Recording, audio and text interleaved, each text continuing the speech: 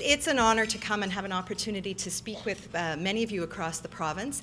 Um, and it was tough to decide what topic to choose to discuss. And I chose one that's near and dear to the heart of the GRIT program, and that is the role of engaging families.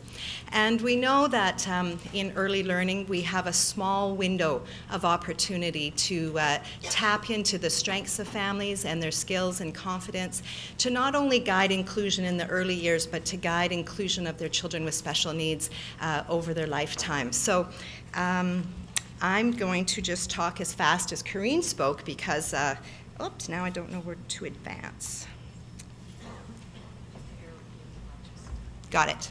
So 15 minutes at a glance, this gives me about four minutes and 20 seconds on each topic. Um, so quickly just looking at the role of families in early learning, how do we as early childhood educators and service providers strengthen family skills and confidence?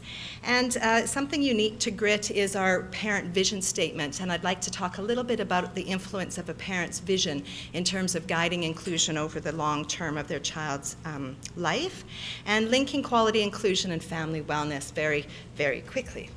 So this is an image that was drawn by one of our families, um, alumni families, looking back at their experience and family's journey towards inclusion. And she has so carefully crafted an image that at the center is the heart of the child and the family, with the people that um, Brian and Robin were talking about is the critical people supporting that child and family uh, to be strong and to be healthy and to be resilient with the challenges that they might be facing. And the opportunities that are there to create community and the, the links and um, programs and services that are in the family's community that become part of their circle of support. So when we look at inclusion in the early years, we don't look at it as a setting in the community. We look at inclusion in a family's home. Many families tell us their children don't have dinner with them. They don't sit at the family table. Their siblings don't know how to play together. So we're starting to help families understand their value of inclusion and what that means right in their family first. And the early years are the only opportunity we have to help families understand inclusion and what it means from a greater context outside of, of a classroom setting. And then we look at inclusion in the community, and, and uh, Corinne talked about the quality inclusive childcare programs that are out there.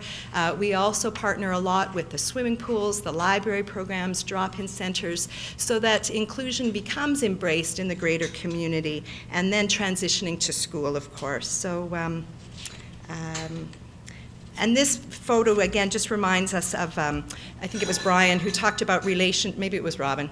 I'll call them the team. Uh, relationships matter, and there's differences in the relationships that families have. A lot of our work around families has been grounded in the research of family-centered practice, and we spent probably five years as an organization trying to understand what does this mean. A lot of us say we're family-centered. We said we are family-centered before we even understood what it meant. So it was helpful to um, take away uh, three primary things from our work on family-centered practice. And one is that it's a process. It's a lengthy process of understanding how our behaviors and actions as professionals really do guide and influence outcomes for families. And when we think of where we want families to be three years on the outside of our early childhood program, we want families to be strong and resilient. We want them to know what we know about child development, about brain research. We've joked a lot about if I could go back and parent differently, how many of us would go back and parent differently with the knowledge we have today? So how do we take our role to help families know what we know in a way that they can um, join and walk with us on this learning journey? So um, under the foundation of family-centered practice, very quickly, three critical steps. We have to identify what we believe and value about families. And I, can, I can't count how many times I've heard, if families would just, if the mother would, if they would stop doing. And, and we come with our judgments and our own ideas of what families should do, and we need to be aware of our own um, cultural backgrounds, our own family beliefs and values of what we bring to our work with families. And we need to, um, uh, you know, Carl Dunst uses the word uh, professionals' behaviors. And often people said, behaviors? That's kind of a harsh word. But it is our behaviors. It's our actions and decisions and conversations at every level that we um, engage in. And so everything we do either enhances or diminishes family capacity and strengthening. And um, that's something that we keep revisiting um, in terms of our decisions and the, the processes that we use. Relationships um, are key, of course. Um, families need to know that we can, they are trusted, we understand their journey, they, um, we have empathy for their experience, and once we have relationship, then we can guide families into more steps of participation. So the what ifs and why doesn't the parent do that often falls on first that we have not yet built relationship. And that relationship takes time, and um, only through that will we move families to higher levels of participation. So strengthening parent skills and confidence, um, we've started adding family learning goals onto our individual program plans. It was something that we um, did last year and it's um, struggled us in some ways, but we choose one or two family goals. And for families, things that they might choose is understanding the child development, maybe understanding their child's diagnosis, um, accessing community resources, and some of those things might fall under your family orientated sessions. But we try to help families look at the goals that they may not yet know are coming on the horizon. So when we look at action on inclusion and we say, how do we engage parents as active members of a learning team, we know that there's other priorities that we would like them to know.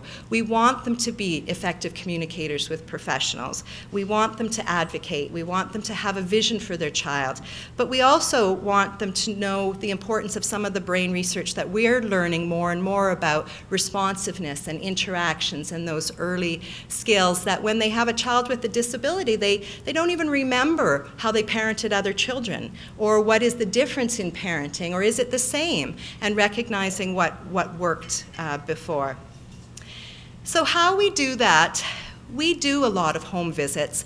Uh, the GRIT program is unique in that we're almost a reverse PUF program in that 85% um, of the children who are in our program have been diagnosed at birth. They're not diagnosed in kindergarten, so they're looking at supporting children in our teams who have lifelong developmental disabilities.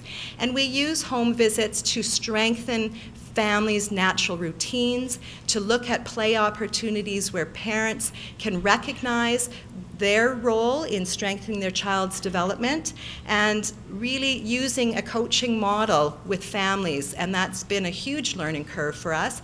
Moving from having relationships with families to a role of where traditionally uh, home visits might have been on a consultation or expert model to one of coaching where we do joint planning with families and we really are looking at the strengths and building on what's going well and where families are already confident. We've also have a looking ahead resource which guides families through three years of early childhood. Families tell us that every year is a transition. Some families can't imagine their child leaving the home environment and going into a community preschool program.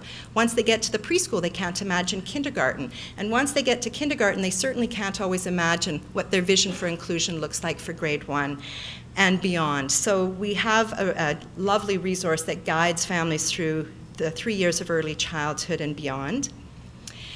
Another thing in our process is really honoring families' journeys. We offer a parent to parent support group where parents come, usually three Mondays a month, and learn and share and grow together, learn how to navigate the system, look at some of their learnings around advocacy, facing the barriers and emotions to what are the barriers for inclusion, and there are many. There's early childhood policies in some of our community programs that are barriers to inclusion. Families can't access their first play school of choice sometimes as they might have with their previous children. So we need to look at all of those barriers as families um, begin to travel on that journey.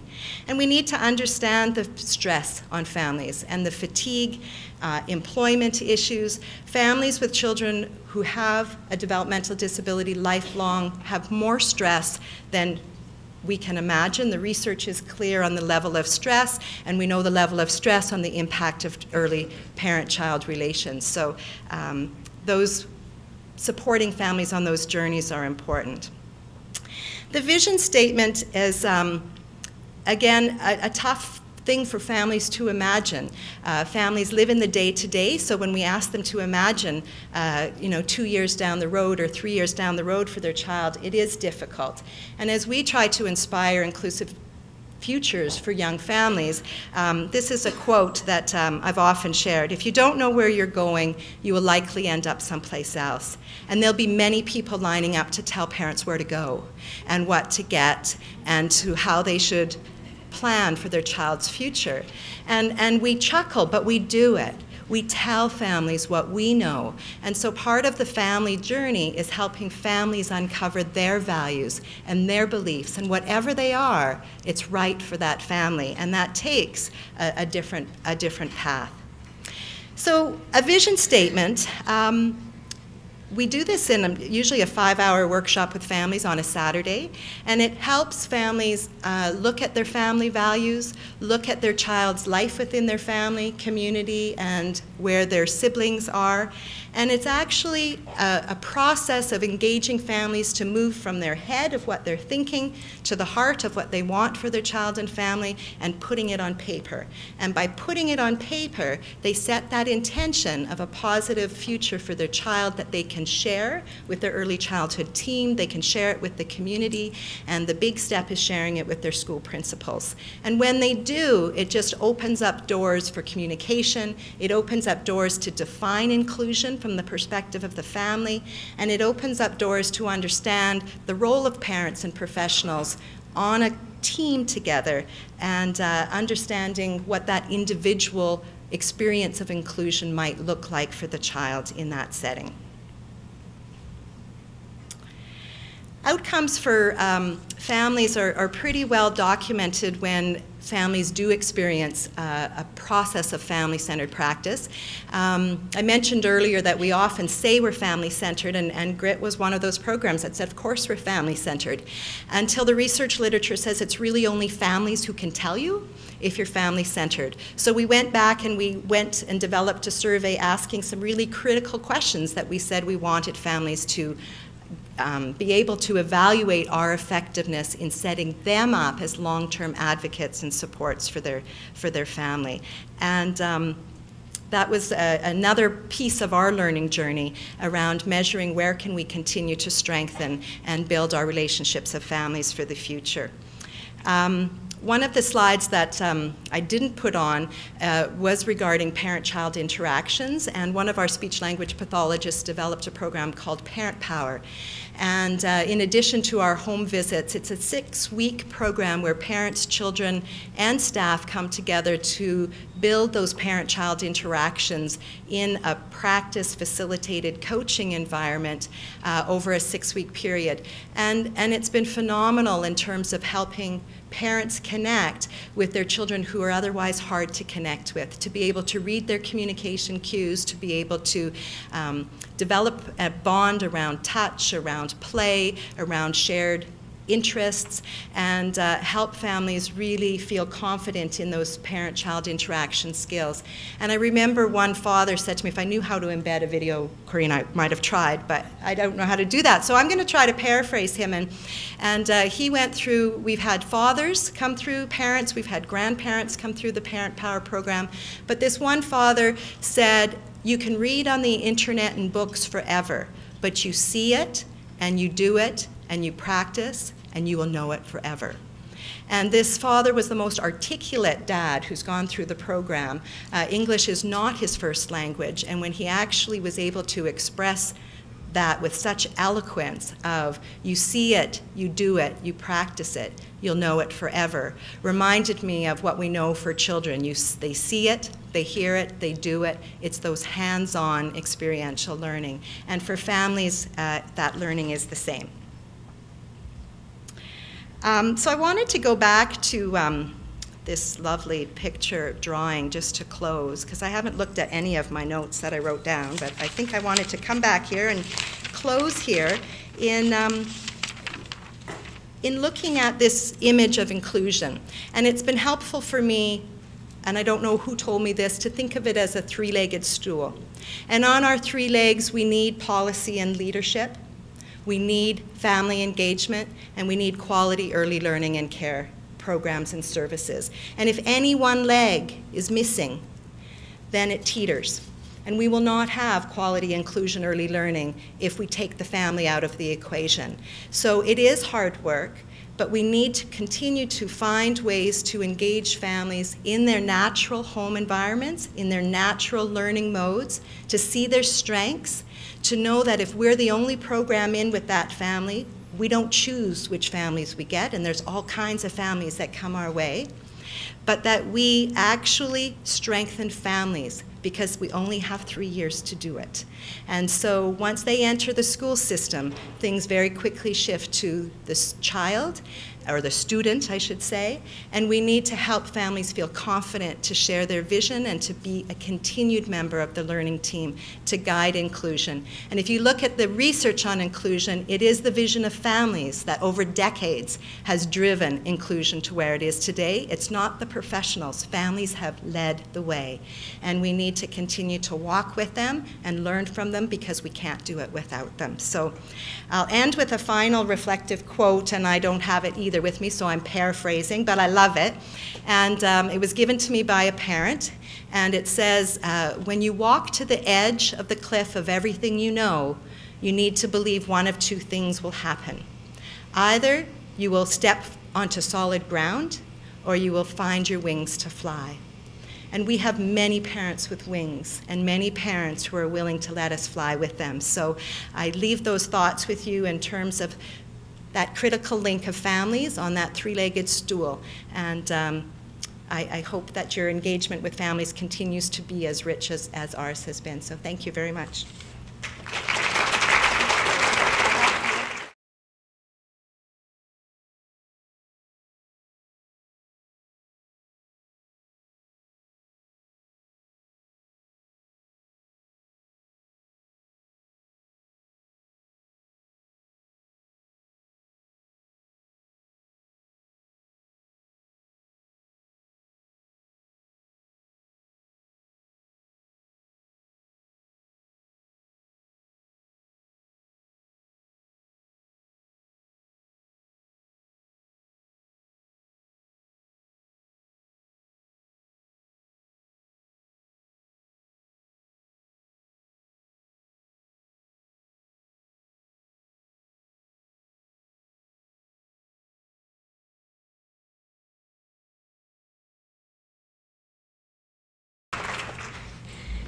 She almost needed wings there.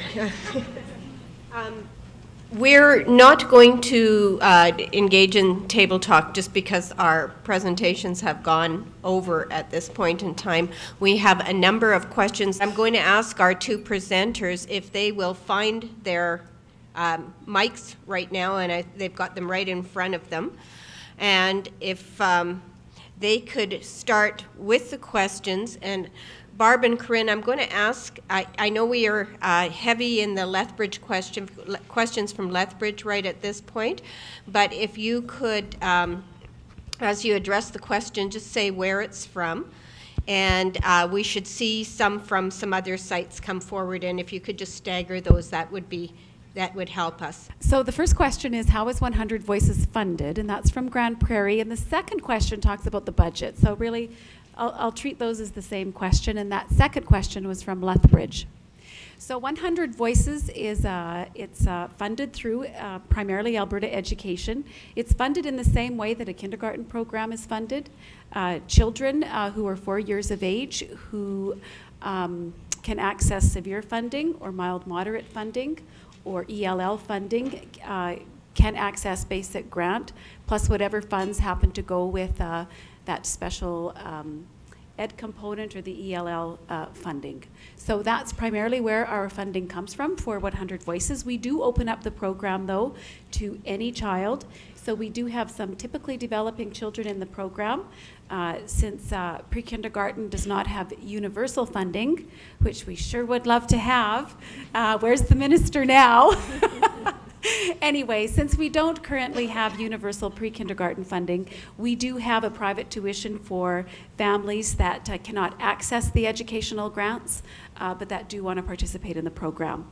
We are also very fortunate to have uh, a gentleman who is a private sponsor, and actually for six of our communities that are in kind of higher needs areas, he he pays the uh, the basic grant for kids that can't actually access the educational grant. We do a mass amount of screening in the springtime, so parents who are interested in coming into a pre-kindergarten program but aren't sure whether or not their kids actually qualify, we do screen uh, using our speech language pathologists and occupational therapists primarily.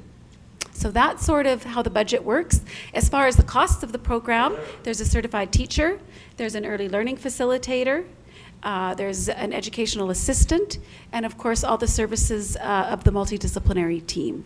Multidisciplinary team runs around $35,000 per uh, class, which is a half day. Then, of course, you've got your certified teacher, which is roughly $45,000. You have your early learning facilitator, which is roughly $20,000, and your educational assistant, which is roughly the same. Plus, of course, classroom resources and, and, and resource and paper and paint and everything else. So that's it in a real quick nutshell. Thanks, Corinne. Uh, Barb, do you want to take that next question? Sure. Can you hear me? I don't know if I have to hold it or if I can leave it. Can you hear me? No, no. no. Use mine. Thank you. We learn to share well. The question is um, family-based programming. How do we get parents here? And it is from Lethbridge. So I'm interpreting the question as how do you get parents out to family-based programming. And um, I would say there's three things that uh, we really look at. One is parents will only come if it matters to them. And it goes back to the consultation versus coaching kind of perspective. So if we as the experts say, these are great topics, come, they don't come. So we've learned that we need to ask families what they need and what their interests are and ground it in where families are at so that we actually start where families are at. The other thing we know, and we've learned this in research and actually just, you know, bite the bullet to do it because the research is pretty clear, we need childcare for families to attend. We need to remove the other barriers. So childcare is a barrier, uh, meals are a barrier, daytime hours are a barrier. So many of our uh, parent groups and um, workshops are also offered on Saturdays and evenings. And when it is daytime, we always provide childcare and we always provide a meal. So, or at least good food. So, um, those are some real things that really help. But I think the biggest critical thing is that it has to be meaningful to families and in the context of their family life and family experiences. I hope that helps. Okay. Thank you. Um, is there that, can you take this one about the parent? Um, how can we find out more about the Parent Power program? We've been asked so often, and we're very close to uh, probably putting the manual on our website. Um, it was funded in partnership through um, Alberta Education through our PUF funding and um, specialized services through FSCD. And uh, Krista Wennerstrom is our speech language pathologist who developed the um, the content manual, and we're in the process of developing a facilitator's guide so that anyone can pick it up. We've always co-facilitated to build our own capacity, so she's been the lead, and we've had an occupational therapist, uh, early childhood teacher, physical therapist, or others who co-facilitated to build our capacity across parent power, um, but our hope is uh, to have the manuals available because we just would love um, it to get out there. It's a wonderful resource, and we just want to put in some good adult education practice facilitator principles in there to, to guide others. Right. Barb, could you just take the question from Edmonton? That's just right below that on the survey. And then oh, we'll the GRIT survey for parents. Yeah. Um, I would be happy Great. to send out our five or six questions that we've developed. Um, and you can use it as a tool, so you can certainly email me if you would like a copy of it. Um, what we did is we went back to the messages that we tell families. So when we tell families that they'll feel more skilled and confident in their parent-child interactions, uh, they'll feel stronger in advocating for their child's future, that they'll be engaged in decision-making and making informed decision-making. Um, so we actually took the five or six things that we tell families will do, and we asked those harder questions, and we ask them every year. So um, it's been simple in that it's six, and it was very insightful in terms of the family's perceptions of um, their experience, and, and that's been valuable information for us. Okay. Uh, Corinne is going to take the last question uh, that comes from, I believe, Lethbridge. Yes. Yes. Okay, and the question is, uh, why do you forbid pull out for speech? And I'm assuming that's speech and language. Uh, well, you know, it's been a journey and it is truly a philosophical change. Uh, back in the old days when I was a classroom teacher, uh, that speech path would come knocking on my door and they'd say, We need to take Johnny out to do speech and language because he has a severe speech delay. And I'd be like, Great, therapist is coming, taking the child, not my problem. So my hands were clean of that issue. Uh, was there any carryover into the classroom? No. Uh, did I really understand what his challenges were as a teacher? No. Did the family? No. Uh, and was it functional based? Was it educational based? No. It was very therapeutic. So we need to remember that when we're in education, our dollars are funded through education. So we very much need to focus and emphasize the functional context. What are the challenges with language in the classroom? Uh, which is which is very very important and how are we going to deal with them in the classroom and uh, it's very important that we work with children within the context of, of what they're living in and where they're at. Otherwise, the carryover really is very, very poor. So, we can learn so much from our specialists, from our speech language pathologists, from our occupational therapists. We do not need to have them pulling children out, taking them down the hall to another classroom or the custodian's closet where we can't see the work that they do because they have so many gifts to share to develop capacity with the teacher in the classroom and the assistants to model and to work with kids right where they are because that's where the greatest impact will be as far as working with whatever need that child has. So that's why we do not permit it. There is an exception, and that's for children with fluency, where we do have a speech therapist do a very formal program for those kids that have some real issues with stuttering and so on. And that's very much working with the family as well. So that would be the, the, the exception that comes to mind. And that's about it. Okay. Thank you, Corinne and, and Barb.